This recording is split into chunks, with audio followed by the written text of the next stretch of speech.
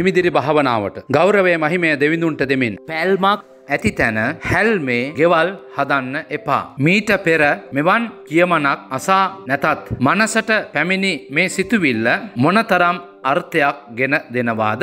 කැලිෆෝනියාවේ හේවඩ් නගරෙහි ප්‍රථම ස්තීර නගර ශාලාව එක්දස් නමසය තිස්සේකේදී සාදනු ලැබුවේ. ඒ කාලයේ හැටියට වියදම ඩොලර් ලක්ෂයක් පමණ වූවා. හතරැස් කොරින්තියානු කුළුණු මෙන්ම රෝම ආරුක්කු දොරටු සහිත වූ එය ඒ කාලේ විශ්මයක්ම වූවා. එනමුත් එක් ප්‍රශ්නයක් තිබුණා. මෙය හදන්නට තෝරගෙන තිබුණු ස්ථානය. හේවඩ් ෆෝල්ට් නම් පොලවේ පෘෂ්ඨය පළුදු වූ ස්ථානයක් වූ හෙයින්. ක්‍රමක්‍රමයෙන් එය දෙකඩ වීගෙන යන්නට වූවා. එක්දස් නමසය අසූ නමේදී. භූමිකම්පාවක් සිදුවී එය වසා දැමීමට සිදු වුණා. අද ඊට කිසිවෙකුට ඇතුළුවෙන්නට බැහැ. ශක්තිමත් නැති අත්තිවාරමක් මත ගොඩනැගීම් ප්‍රඥාගෝචර නැහැ. අපගේ ආත්මික ජීවිත පිළිබඳවත් සත්‍යය මෙයයි. උපමානුසාරයෙන් කිතු සමිඳුන් මෙය සිය ගෝලයන් හට ඉගැන්නූ අයුරු මතෙව් හතේ විසිහය විසිහත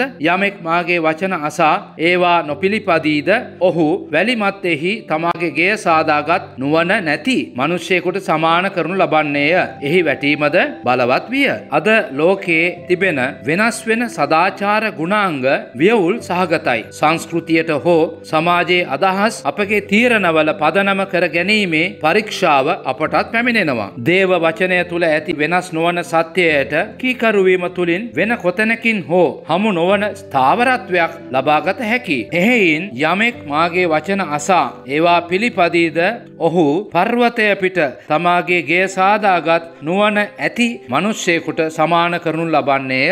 එබැවින් වෙනස් නොවන අත්තිවාරම වූ කිතු සමිඳුන් මත අපගේ ජීවිත ගොඩනගමු.